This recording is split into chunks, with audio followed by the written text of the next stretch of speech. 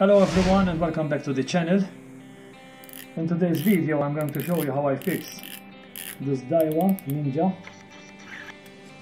that has a problem with the bail.